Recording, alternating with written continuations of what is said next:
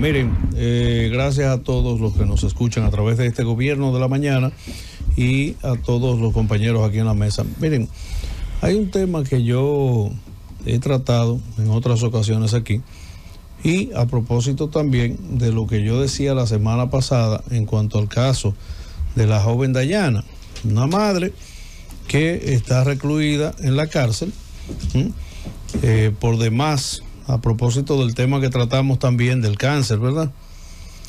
Pero Dayana Reynoso eh, fue enviada a un hospital luego de presentar una, ligera mejoría.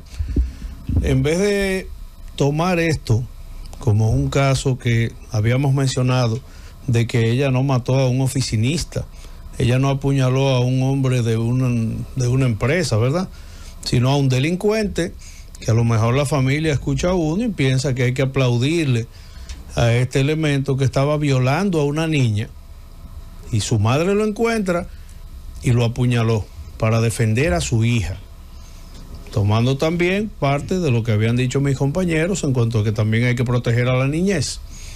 Entonces usted, en un caso donde usted lo encuentra en el acto y usted elimina a un depredador, una cucaracha como esa, entonces usted tiene que ir a la cárcel y pagarlo como si fuera una gente seria, donde a usted no le tienen la consideración, no le tienen la consideración ninguna, y pese a que ahora mismo hay una condición con un tema de cáncer, lamentablemente a ella en vez de enviarla a su casa, la devuelven a la prisión, la devuelven a la cárcel. Entonces yo me pregunto, este sistema nuestro, este sistema de justicia que tenemos, a veces uno no sabe si está para la complacencia de algunos o si está solamente para entender que los únicos que pueden tener un, derecho son los delincuentes.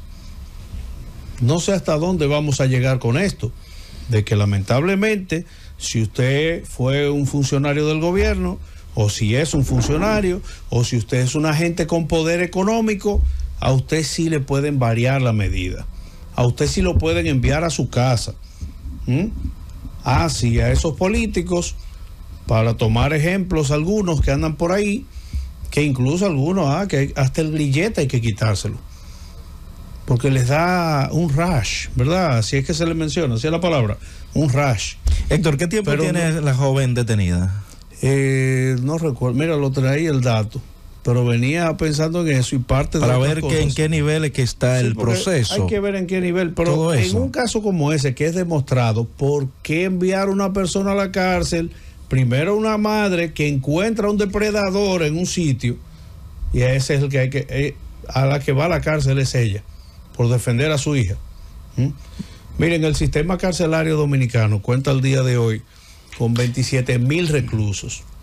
Esos 27 mil reclusos, usted va a ver a muchos que están parados por un proceso de que no tienen con qué pagar a veces una, una eh, ¿cómo le llaman, Carlos? Una, fianza. Una, fianza, que a veces son dos mil pesos y no lo tienen.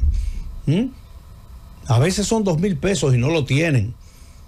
Pero usted tiene muchos reclusos que están con problemas de cáncer, problemas de enfermedades avanzadas y a veces esperando procesos no salen y mueren allí. Mueren allí. Y si usted se fija en cómo ocurren cosas como estas, usted se pregunta, ¿los derechos humanos para qué están aquí?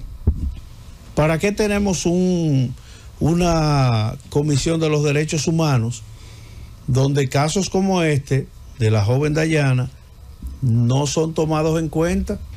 Porque ahora, si matan a un delincuente de esos que andan por ahí, ese sí salen a defenderlo. Si pasa el caso de, de, estos políticos que se ha demostrado que tienen expedientes enormes, a ellos sí hay que variarles la medida, porque tienen más derecho que alguien que está defendiendo a su hijo de un depredador como este grupo que aparecen por ahí. Yo creo que eh, para pasar ya con Carlos, eh, mira, es bueno saber que quién está, quién asumió la defensa de la joven. Sí, es bueno a veces no se cuenta con los recursos quizás para un buen abogado.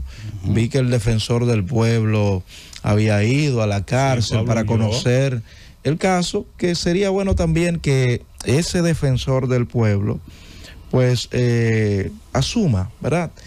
Porque hay un proceso judicial. Sí, los procesos deben ser... Eh, son las cosas, Roberto.